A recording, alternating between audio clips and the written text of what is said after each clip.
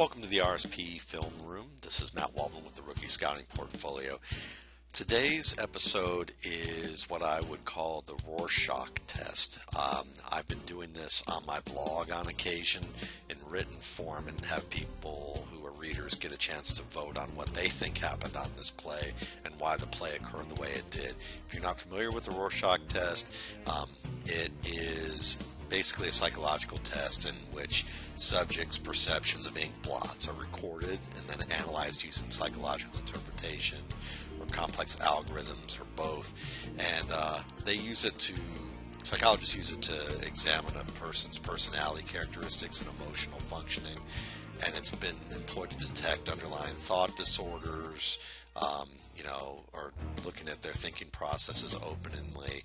Um, obviously we're not going that deep with football, but I just wanted to give you uh, kind of an idea of why I called it that. Um, this is I just think that there are some plays where you look at it um, and without being able to talk to the player or the coaches, you, you may not fully see what the intention was here, and there may have been two or three different things that happened that contributed to the outcome of the play, and maybe there was no single correct answer. So we're going to look at this play, and it's a it's a pass play that is um, going to be directed to the slot left receiver, and I want you to take a look at this and look at it in real time here, and you see that it turns out to be a tackle for a loss. Um, let's look at it one more time. What I want you to think about is why do you think this play happened the way it did? Did the quarterback lead the receiver? Um, throw the ball too high? That's the first question. Did he throw the ball too high for the receiver and he had to make this adjustment and it took him off track? That's one possibility.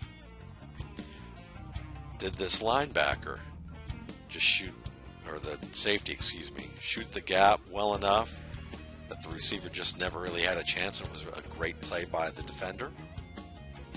Let's look at it one more time. Seeing the defender shoot in here. See, look where he is. And watch him inch up, and he's guessing right away and just running right to the play. He gets right under that blocker, too. It's a really nice play. So, one option is quarterback threw the ball too high. Second option is the safety shot the gap very well and made a great tackle. Or what about this one? Did the receiver not follow the trajectory of the throw?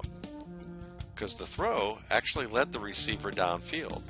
And if the receiver actually worked outside, he might not have had to high point the ball. He could have continued running downfield, let the ball come over his inside shoulder, and have caught the ball well outside this this block to the inside and would have put him one on one with this off corner with a good 10 yard cushion for him to make a move and make this man miss. Instead, he gets tackled. So we have three options here to take a look at. We'll review one more time. And you can post on the blog or on the blog or on your YouTube comment what you think it was and then I'll tell you, you know, over time what I think it is.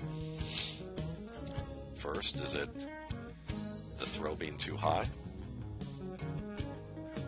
That's one shot. Let's look at it one more time.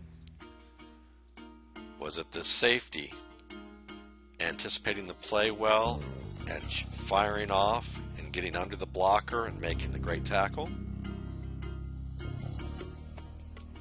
Or was it the receiver not being on the same page with the quarterback who's trying to lead him downfield and he stops his route, turns back to watch for it, and ends up high pointing a ball that was trying to lead him further downfield and puts him in a bad position to where he could have had better position if he ran the route and didn't break it off so early.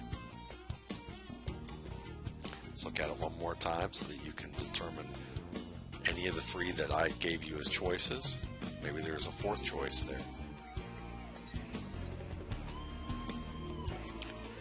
So if you want, comment on YouTube and let me know what you think it was of those options. And uh, I'll let you know probably at the end of the week in my Reads, Listen, Views blog what I thought it was and why. Thanks again. Have a good night.